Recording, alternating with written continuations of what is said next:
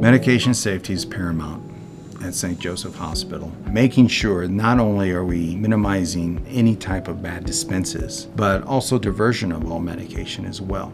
So, with having BoxPicker in the pharmacy, we're able to track medications much more thoroughly when patients are in need. The barcode technology that the human can check that the robot did the right thing really closes the loop.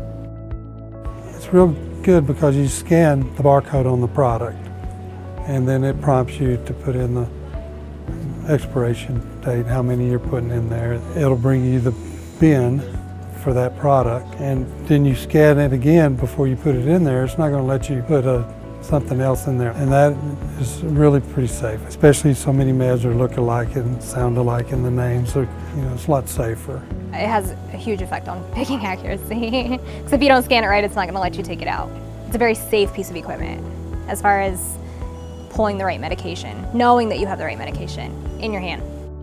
When a hospital modernizes, especially if they move from a carousel to a BoxPicker, one of the differences they're going to see is there's only one drawer presented in a BoxPicker at a time. In a carousel, there is a shelf that's presented to the user. So there is just that extra element of possibly being able to pull the wrong drug because you now have access to it in a carousel. Whereas the BoxPicker pulls a very specific drug and allows the user just to have access to that drug.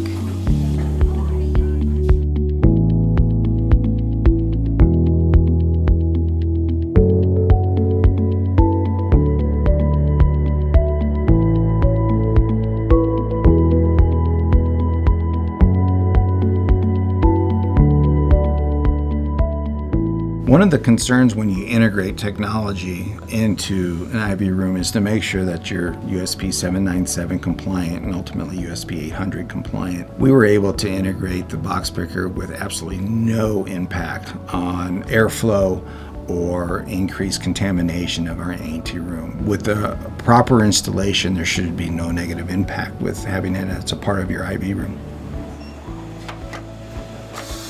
We have a very robust safety team. We meet daily and go over safety events. But with the scan out, with the separation of the inventory, with the machine bringing you specifically what you need, it has pretty much eliminated our mispicks. Enough to where our, our daily safety huddles pharmacy, we can go long spans without having any issues the ability to, to, track expirations quickly, to be able to run a report and see our inventory in the BoxPicker, you know, within seconds, is big advantages from a managerial standpoint if we distribute the wrong med and it makes it to the floor, then that puts our patients at risk. So by being confident that we're taking the right med, the right time, then that has an immediate impact on patient safety as well.